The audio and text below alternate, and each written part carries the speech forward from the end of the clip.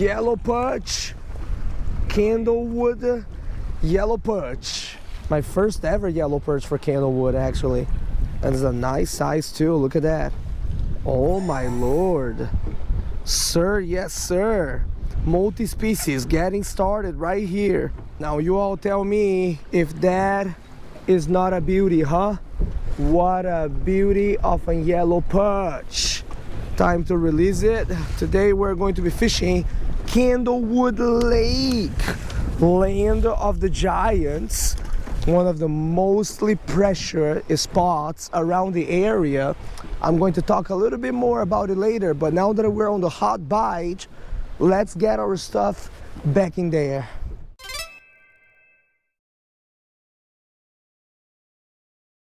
Check this out. I'm getting started with a little Euro Tackle B-Vibe on a 116 ounce jig, size 4 hook. You folks are way too familiar with this bait right over here. And apparently it is going to be a pretty windy day.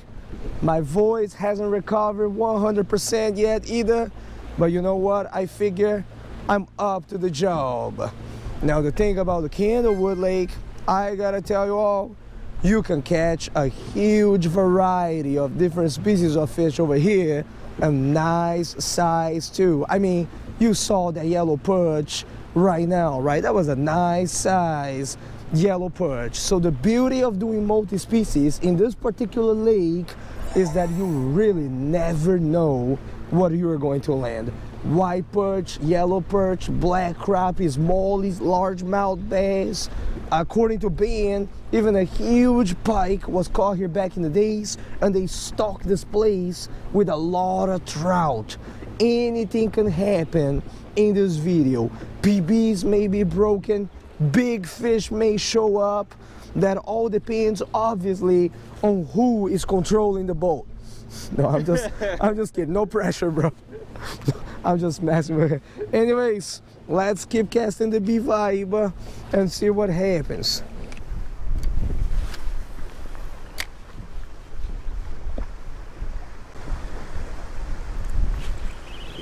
Oh, Oh, son. Oh, oh, what we got here? Oh, it's a bluegill. Second species of the day.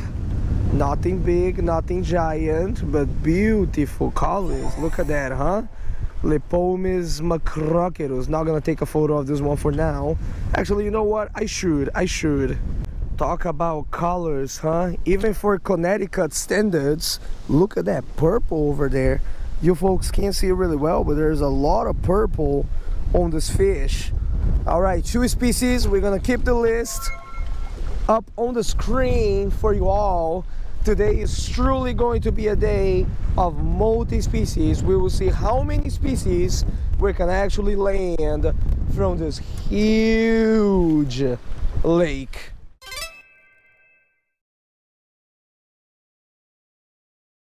All right, beautiful. Nice little rocky cove. There is like big, uh, I don't know if they're suckers, I guess. Oh, really? There are bigger suckers here? Wow. Like, Trout, bass. I mean, I can see already that that spot in the front where the water's flowing in is gonna be the juice. You know what I'm saying? Well, Yeah. sometimes. Ben tells me there's a real possibility we're going to land a nice fish over here. So rocky area, make sure that our stuff doesn't touch bottom, right? Chatterbait, swim baits, I mean, you name it. Let's give it a go. Call this Molly, call this Molly for me, come on. Pica, pica, pica. Choo. Pica, pica. Tell that big Molly down there. Tell the EPF has coming. Oh, oh, oh, oh, bigger one, bigger one. Black crappie. And this is actually not that big for Candlewood Lake either. Pomoxis nigromaculatus. Haven't really found that smallie around here yet, the trophy one but this spot is looking very very juicy i mean look at that right over there yeah we'll see we will see There are so many fish here. It's hard to believe. Can you imagine if you live in this house, you just come down from like your backyard every day and just like, oh, okay, let me give a few casts in the juiciest, you know, thing around. That's crazy. With the, the bass, miss, you never really catch one. You catch like five, six. Uh-huh. So it's like either they are here or they're not here. Yeah. Mm, what do you think our chances are before we catch one? Like if we, like, are we going to catch one before the end of the day? You think? The bass? Yeah. But that's like I said, we gotta focus on it. Wow, bro. Wow, bro. But you just did. I just caught the tiniest smallie of Candlewood Lake, bro. Hey, it counts as a, I tell you what, it counts as a species, you know. But uh, I refuse to take a photo of this one though. So I'm gonna jinx it if I take a photo of that one, you know. All right, so we're laying the fish list. I think I got yellow perch, bluegill, black crappie, smallmouth bass. Yeah, so we're doing good, we're doing good. Perca flavescens, Lepomis macrochirus. And then the third one was the Pomoxis nigromaculatus and now the Micropterus dolomieu. All right, we're gonna lay here a little bit more and then move. That sounds good.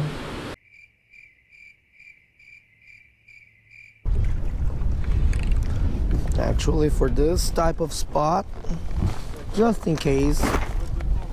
No, no, no. I'm just gonna get the ready, net ready, just in case, you know. When it is about the bass, man, don't want to be unprepared if a four or five pounder shows up. That's the thing about multi-species fishing. We got to go for a little bit of everything. We're here at a marina here on the lake, and Ben tells me this is the perfect spot to throw or skip a Gary Yamamoto Senko. So yes, of course I'm going to do it. Let's do it. We got a tiny smallie. It's time to redeem myself, son.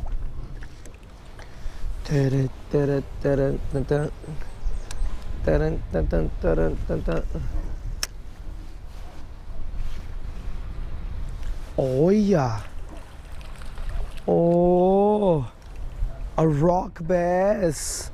I don't have that species for this video yet.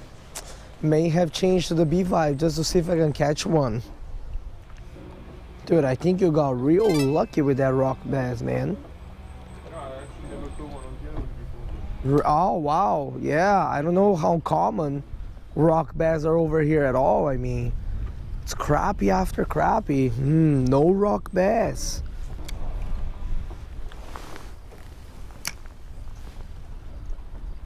Will we be able to add the mighty rock bass to the list? Keep watching and oh, those shall find out. Oh my lord, had a bite right here by the boat. What's awesome is that they're so big too. Hey man, there may be a monster amongst them. Oh, bass. Nice. That's another species for today. Species number five. Uh, May not be a monster. Dude, what happened? You told me Candlewood is all big fish, bro. What's going on? Oh, that's not big for you? I guess everything's big for the Dink Master. Well, there is that Candlewood Lake Monster. Species number five of the day. We're flipping, not even flipping, we're just vertical jigging some docks. We found a school of crappie right along this area over here, so we're just having some fun. You never know when a monster is going to show up, right, folks? Ooh, oh, talk about monster. Oh, that's nice, bro. Need that? No. Okay. He's so used to catching the ones that size. Dude doesn't even need the net, but look at the size of that fish. Bro, that's that's a real nice one. that's like one and a half. I don't know. Yeah, but that's definitely bigger than one pound. Yes. That's like how many inches you think? 13 and a half maybe? 13 and a half, yeah. Wow, dude, that's intense, bro. I got the ruler. Excuse me. Here we go.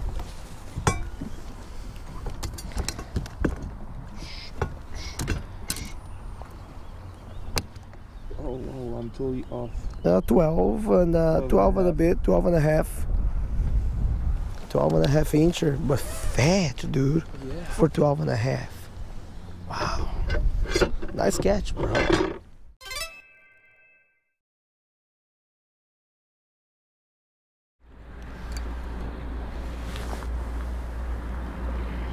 Good if I fish living. What?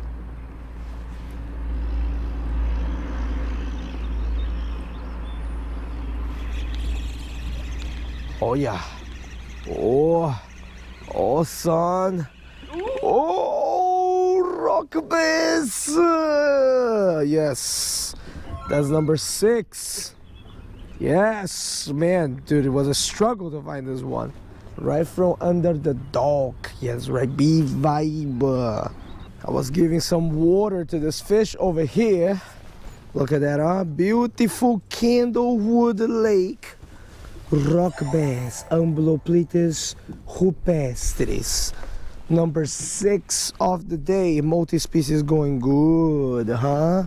We got here the rock bass. We got bluegill, black crappie, American yellow perch, largemouth is molly, as you folks see on the screen, right?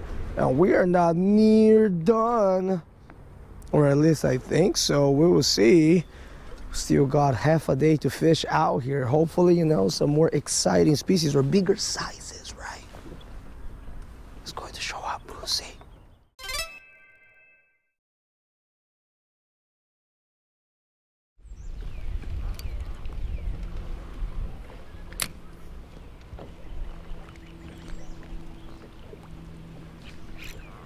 Oh, yeah. Dang, son. Not bad. Oh, that's fat. Oh, oh, he cut my leader. Cut my leader. Easy now, easy. I'm gonna take a photo of this one before I release it. Uh, not bad. Sir, yes, sir. This is more like a candlewood crappie right over here.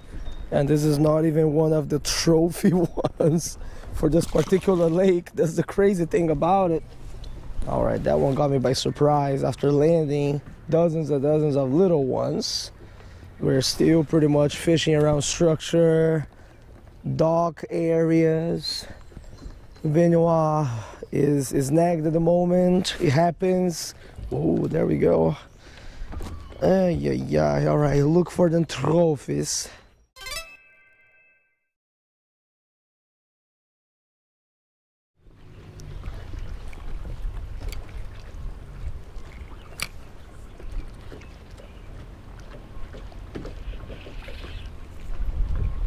Pump, uh, everyone saw it was in the mouth. It was in the mouth. When I told you earlier that I caught a pumpkin seed, you didn't believe me, huh? It's a pumpkin seed. Species number seven, boy. See, I told you. Pumpkin seed exists at Lake Candlewood Lake. Yeah, look at that, huh? Authentic Lepomis gibbosus, okay? Let me show you all how it's done, all right? It's got here the uniform blue rays on its face, white and red on the opercular flap. I'm gonna give a little bit more of water over here. Look at that, huh? Yeah, species number seven for today. I'm gonna release it right over here. Boom. I caught one earlier. I mean, I missed one earlier. And I told Ben over here, man, that was a pumpkin seed, you know? The dude was like, really? Really? Guess he never saw one coming from over here, you know what I'm saying? They down there. All right. At the count of seven, now I'm wondering, can we actually get to 10 before the end of the day?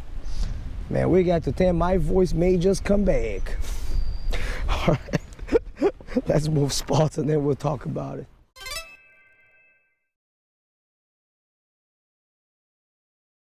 All right, Leo, come on. Put the numbers on the screen, boy. Let me tell you all something. 3:16 p.m. Ben and I decided to kind of call it quits on the multi-species at this point, and kind of focus for the rest of the day on some of the bigger species around here. After all, it would be a shame to come here to Candlewood Lake and not really try to catch like a trophy bass. You know what I'm saying? As you folks can see, per the numbers on the screen, I mean, it wasn't a bad day at all, right? That is not to mention that you guys didn't really see in this video. I also missed a brown trout. We also got to see some grass carp swimming around. So overall, a pretty, pretty cool experience. I will tell you all what though. Of course, we were fishing from a boat today which is a totally different experience as fishing by shore, right? But that being said, keep in mind, as I mentioned at the beginning of this video, that this is one of the most pressured lakes in the state of Connecticut, okay? That being said, there are plenty of species, as I have shown you folks over here. And if you ever come here to Connecticut, I hope that you, ladies and gentlemen, have the opportunity of fishing this particular body of water because I got to tell you, it is a beautiful, beautiful place to fish at. All right, if I post another video after this one with the title Big Fish, you will have known that we have succeeded here for catching some trophies. If not, it is what it is. Uh, let me get your phone here real quick. Oh, this one's for you. I'm gonna finish right here, so I'll talk to you folks later. Tie lines and fish on.